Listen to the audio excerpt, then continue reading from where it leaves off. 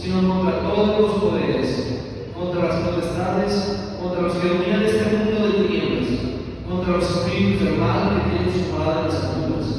Por eso deben empuñar las armas que Dios les ofrece, para que puedan resistir en los momentos adversos y, superar todas las dificultades sin ceder terreno. Manténganse pues en pie rodeados de su cintura con la verdad, protegidos con la coraza de la justicia, bien cansados sus pies para anunciar el evangelio de la paz. Tengan en todo momento en la mano el escudo de la fe con el que puedan detener las flechas encendidas del maligno. Usen el casco de la salvación y la espada del Espíritu, que es la palabra de Dios. Palabra de Dios. Como dice aquí San Pablo los Efesios, estamos en una batalla y no es una batalla eh, humana, física, ¿verdad? Gracias a Dios porque yo, yo estoy no estoy fuerte ni nada, no podría yo. Estamos en una batalla espiritual. Y esa batalla espiritual, lo bueno, la buena noticia, es que no la luchamos solos, sino que Dios nos da las armas y que es parte de las armas su palabra, su verdad, su espíritu.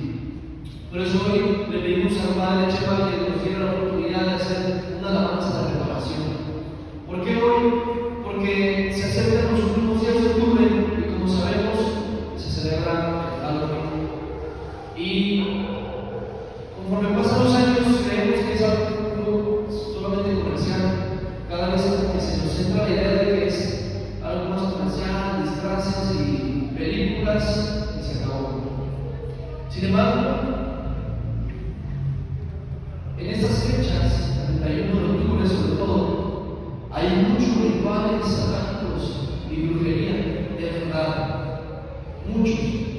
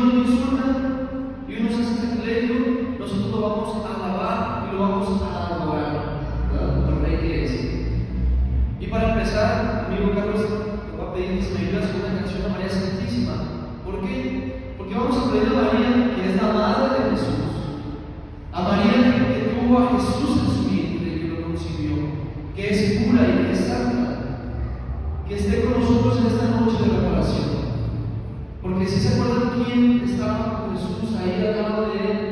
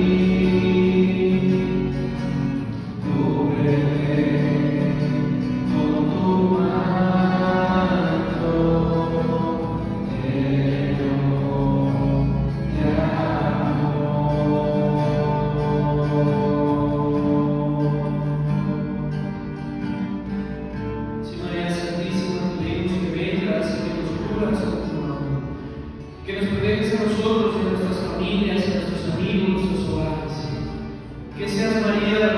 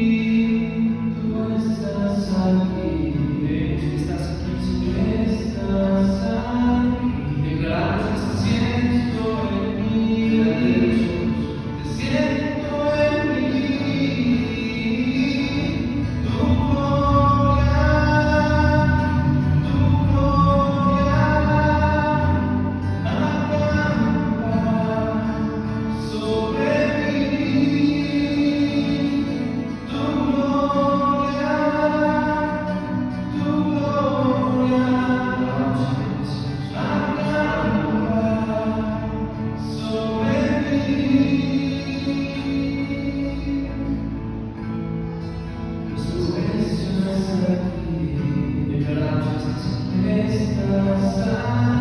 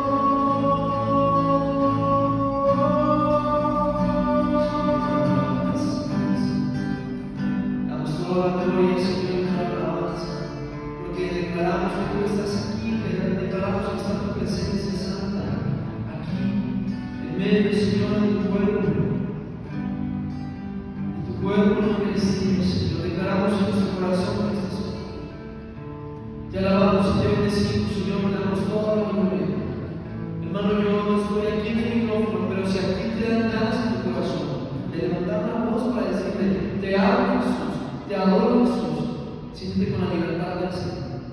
Señor Jesús, te amamos tanto, te damos toda la gloria. Nuestro corazón, Señor, debería de sentir más celo de tu amor, de tu presencia en la Eucaristía, Señor. Más celo de todos estos inocentes que sufren, Señor, en estas fechas. Esa es la palabra de Dios, la primera carta de San Pedro capítulo 5. Que estemos alertas porque el león, el diablo está como un león rugiente buscando a quien devorar. Y si tú y yo nos desesperamos, estamos alertas, nos devora con la tentación, nos devora con la ligereza, nos devora con, no estar con los ojos delante de Jesús. Y no podemos pasar estas fechas como si no fuera nada, como si no pasara nada. Tenemos que estar atentos, atentos, atentos. Señor, danos la gracia de estar atentos a esto, para que ese día en vez de estar distraídos, Señor, con fiestas con otras cosas, yo esté ahí rezando por los que están sufriendo, por los que están sufriendo los sacrificios, Señor. Rezando y preparando todos sus sacrificios a ti, a tu pueblo, a tu iglesia. Danos la gracia del Espíritu Santo para estar alerta, Señor.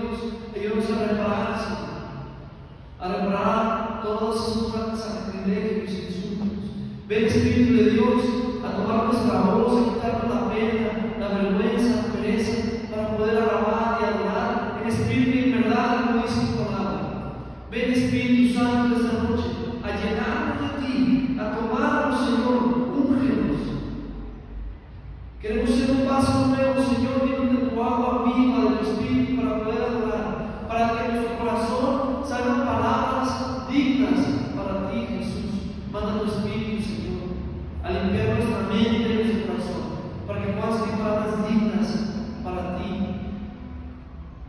Ven, Espíritu de Dios, y le ven, Espíritu de Dios, a mi corazón. Ven a mi mente, ven, Espíritu de Dios, a retirar el cansancio, ven, Espíritu de Dios, a retirar el miedo, a retirar la preocupación.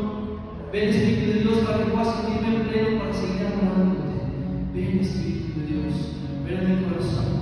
Ven Espíritu de Dios. Ven Espíritu de Dios para preparar mi corazón para en un momento más poder pedir perdón. Ven Espíritu de Dios. Ven Espíritu. Ven Espíritu de Dios a limpiarme por si de alguna forma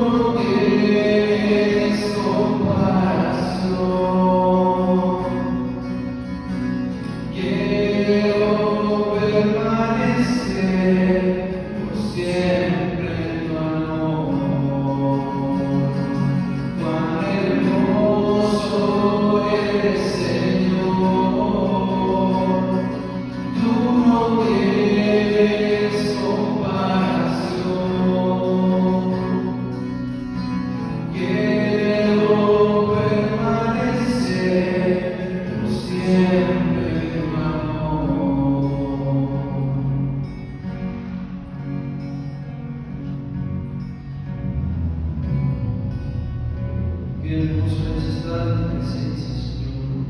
Qué estar delante de ti, Jesús.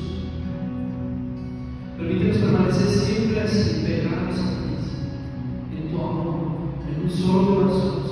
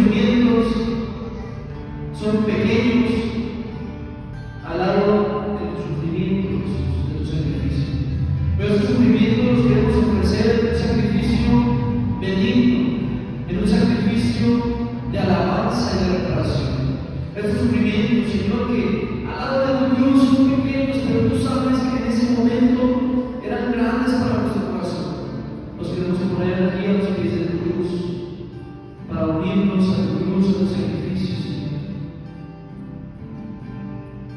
Queremos entregar toda nuestra vida, dile Señor, me entrego yo como sacrificio, me entrego yo como una ofrenda.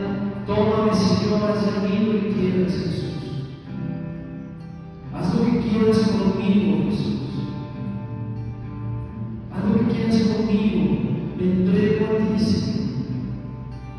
Me uno a tu sacrificio. Mis dolores a tu sacrificio. Uno mis problemas a tu sacrificio y haz lo que con ellos. Recíbelos. Enseñar el símbolo, Señor, de reparación, de alabanza, de adoración. Todo tu corazón ha venido cargando a lo largo de tantos años.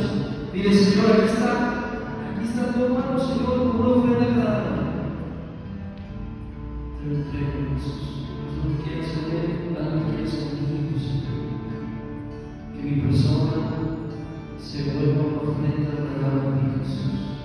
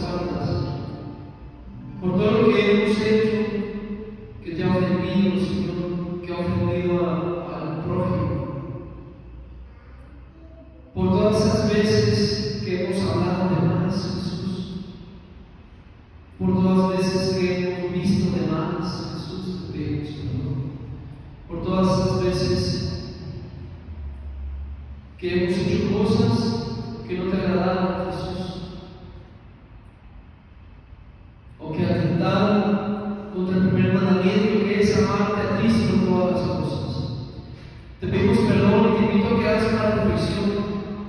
Para pedirle perdón a Jesús por todas esas veces que hemos caído en supersticiones, que hemos caído en poner la confianza en algún objeto, en algún mensaje, en alguna fecha, en alguna persona, que hemos puesto la confianza en